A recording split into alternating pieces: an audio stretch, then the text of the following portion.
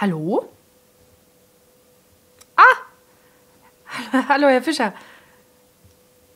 Ja? Ein Märchen? Ja. Kein Problem. Okay. Ja. Ja. Bis dann. Ja. Tschüss.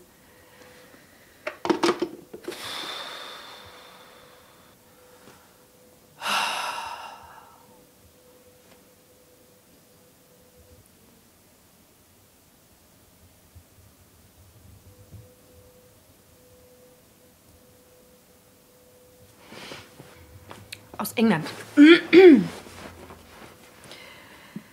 Der Katzenkönig.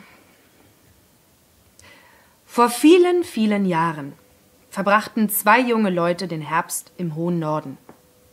Sie lebten in einem kleinen, einsamen Häuschen.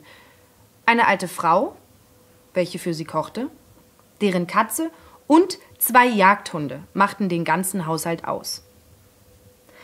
Eines Tages wollte der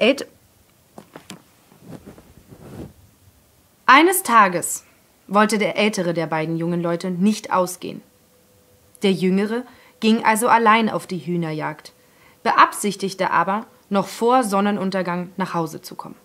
Allein er kam nicht, und der ältere war sehr besorgt, als er umsonst lange über die Abendessenzeit hinaus wartete. Endlich kehrte der jüngere zurück, sagte aber nicht, warum er so lange ausgeblieben war.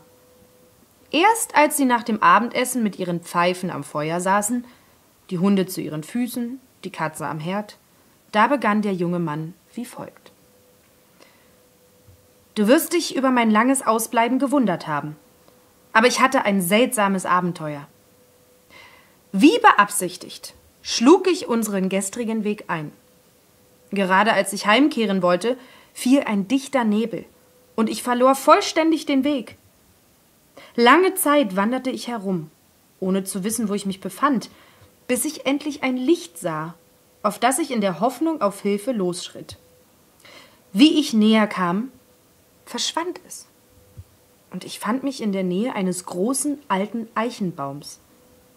Ich kletterte hinauf, um besser nach dem Licht ausblicken zu können, und da sah ich es auch, aber unter mir, in dem hohlen Stamme des Baumes. Mir schien, als blickte ich in eine Kirche hinunter, wo gerade ein Begräbnis stattfand. Ich hörte singen und sah einen Sarg von Fackeln umgeben, und diese wurden von. Aber ich weiß, dass du mir es nicht glauben wirst, wenn ich es dir erzähle. Sein Freund bat ihn inständig weiterzuerzählen und legte seine Pfeife hin, um besser zuhören zu können. Die Hunde schliefen ruhig, aber die Katze saß da und hörte offenbar ebenso aufmerksam zu wie der junge Mann. Unwillkürlich blickten die beiden jungen Leute zu ihr hinüber. Jawohl, fuhr der Erzähler fort, es ist wirklich wahr. Der Sarg und die Fackeln wurden von Katzen getragen. Und auf dem Sarg war eine Krone und ein Zepter gemalt. Weiter kam er nicht. Die Katze fuhr empor und kreischte Beim Jupiter. Der alte Peter ist tot und ich bin Katzenkönig. Stürzte den Kamin hinauf und ward nicht mehr gesehen.